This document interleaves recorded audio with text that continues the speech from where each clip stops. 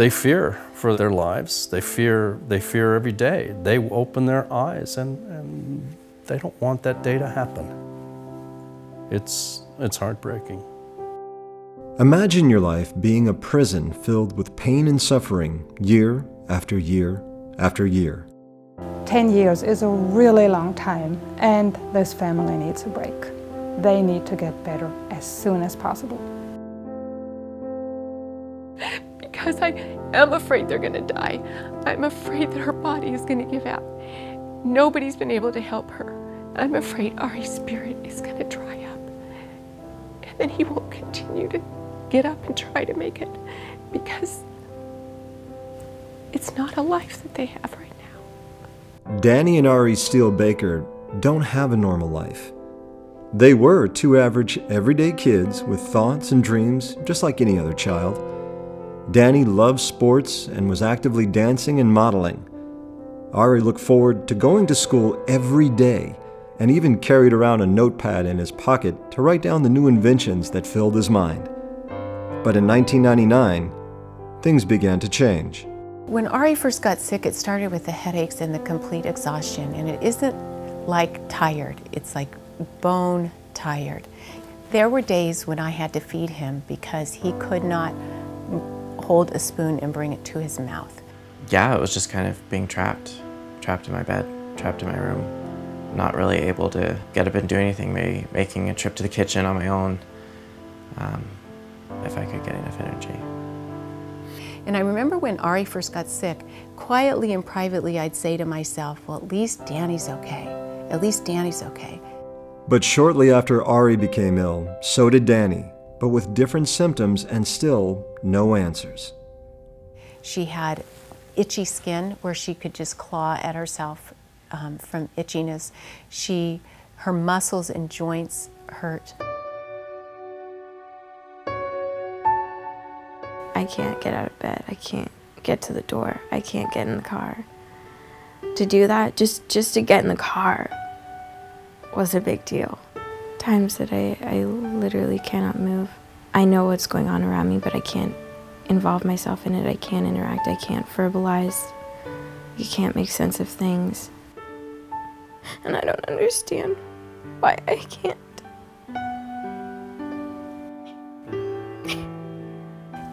you don't imagine, I didn't imagine that my child would be sick longer than a week or two. But weeks of illness turned into months, and months into years, and both began to miss more and more school, family events, and life. We called them waffle dinners. We got together um, at my house on Thursday nights, and we had so much fun sitting around the table, listening to them tell stories. And, and they were there and then they weren't there. And then it was, well, they're not feeling well today, um, but they really want to come. And so I'd set a place for them. And they didn't make it. Then after a while, I stopped setting a place because it was just, it was just too painful because I knew they weren't going to make it. In a five year period, Ari and Dannie had seen 23 different doctors, being tested for a myriad of illnesses, ranging from viruses, immune deficiencies, sleeping disorders, and more, while doctors diagnosed them with tachycardia, chronic fatigue syndrome, fibromyalgia, none being the answer. She went through a million different diagnoses. At one point, they thought she had um, multiple sclerosis. During that time, I was taking them back and forth to their pediatrician who had known them since birth. She couldn't figure out what was wrong with him. Finally, one doctor they were seeing concluded that the kids' symptoms were due to exposure to toxic mold from a pipe that burst in their home in 1999. Not only did the kids get infected, but the family lost all their belongings. Kate had to sell the house, quit a well loved job, and stayed home to take care of the children. But both Ari and Dannie continued to worsen. And it wasn't until they'd been sick a very long time that the doctor who was treating them, I I said, when, when is this mold stuff going to go away? And he said, you know, we should probably test for Lyme. And so five years into it, we finally got tested, and both of the kids came back positive for Lyme and co-infections. So we have a diagnosis, we're going to go to the specialist, they're going to get treated, it's going to be over. That's what I thought. People underestimate it so much. Because, yeah, they have that association of, oh, it's a tick bite, and then it stops there. They don't think what happens after that. You're hurting. Let's get you back in bed.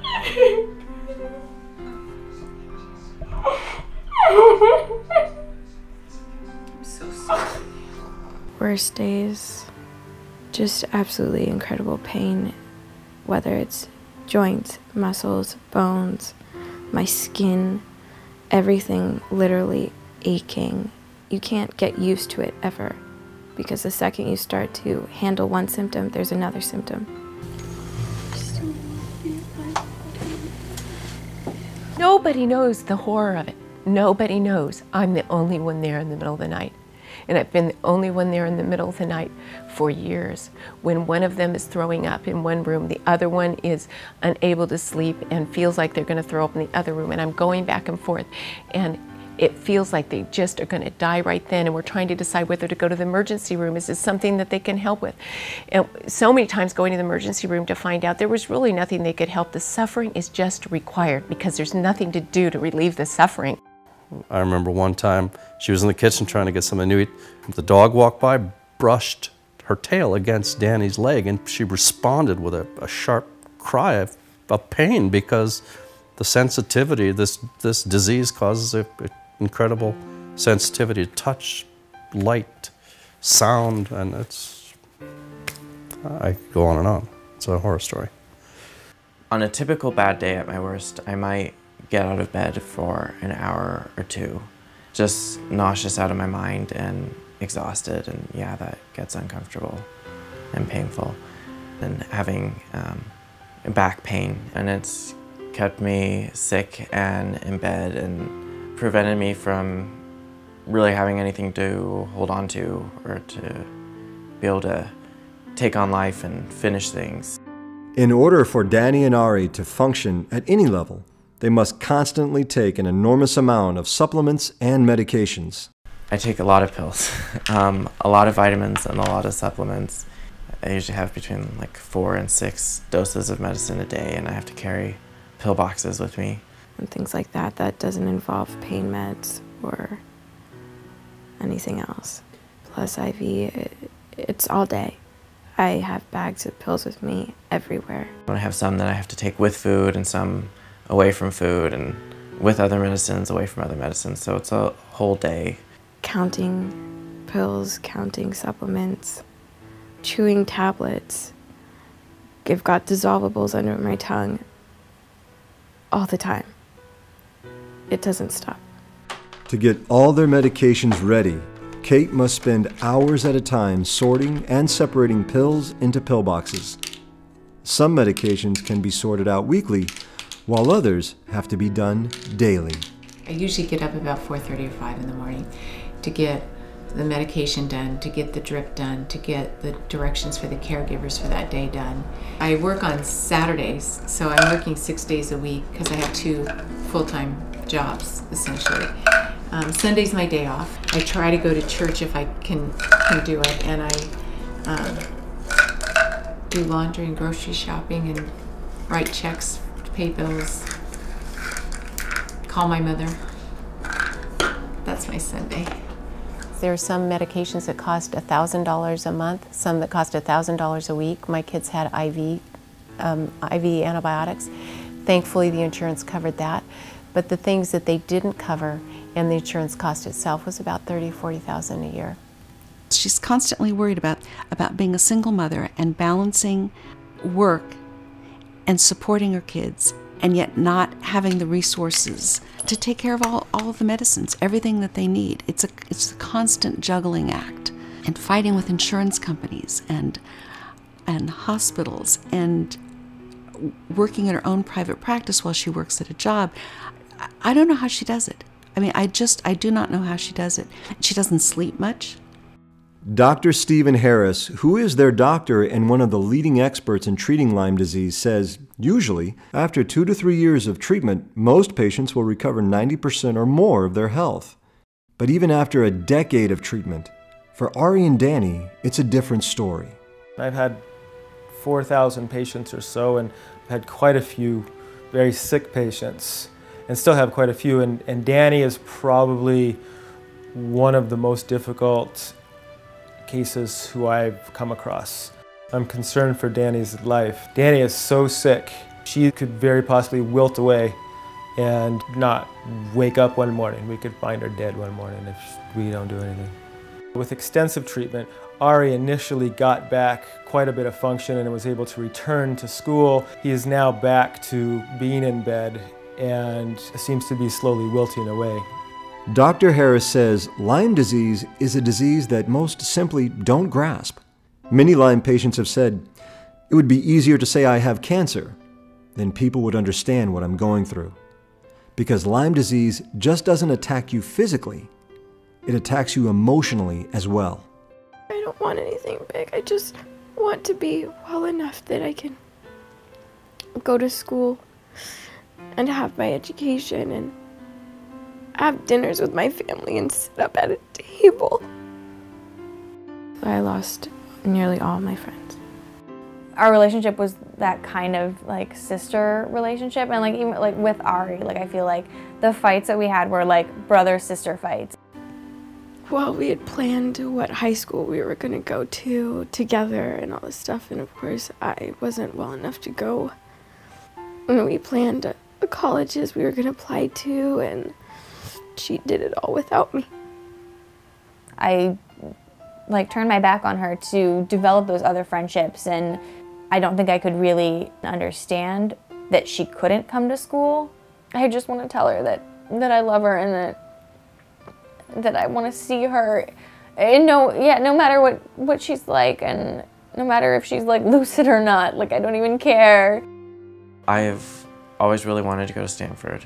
For now, kind of the larger goals and dreams are on hold. Um, I don't really feel like an average 22-year-old that can go live in a dorm and get a part-time job um, and live.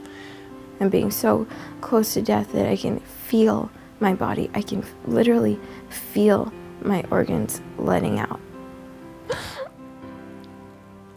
It feels like I'm screaming into the wind. Like it feels so obvious that my kids are going to die. And I want to be strong, and I am strong, and I've done it for 10 years, and I need help because I've tried everything and I've given everything to it, and there is hope out there. And that hope is NuTech Hospital in India. NuTech specializes in stem cell treatment for various disorders such as paralysis, diabetes, and Lyme disease. Amy Scher, who was diagnosed with Lyme in 2007, says she was just like Ari and Dannie when she arrived at the clinic.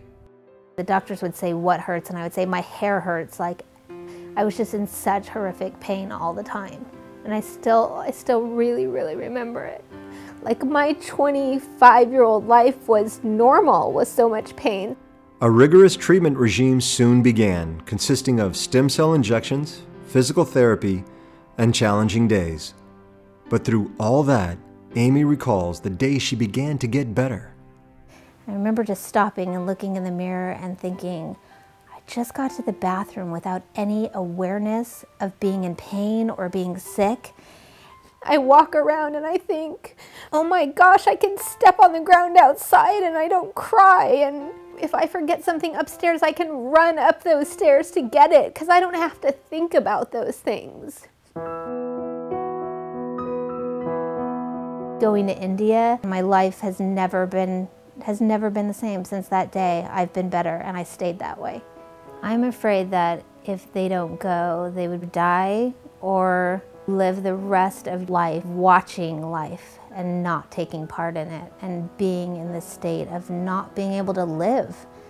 Taking care of Ari and Dannie has been a monumental task, and Kate says she could not have done it alone. There have been so many people from our church family and friends that have come alongside us in the last several years to help us, and we started to put their names down on this paper so that we could remember them.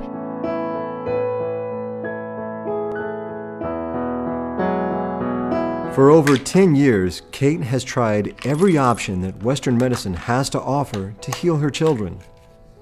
None of them have worked. India is the last best hope for two kids who simply have one wish. Live life to the fullest. I'd still like to go to Stanford. That's still one of my biggest dreams. And um, I have friends there now. They won't be there if I, you know, when I get there, if I do. Um, but yeah, still working towards that. I still think about that a lot. There is this opportunity out there, and the only thing standing between them and a possible life is the resources to get them there. I can't get them there without other people coming alongside us and saying they're worthy, that who they are counts, and that, that they deserve to have a chance for healing. There's so many things I want. I want to get to go running. like little things that no one else thinks about. I spend hours upon hours dreaming about. It's just the getting there that I don't know, but after that, I've got plans. I've got a lot of plans.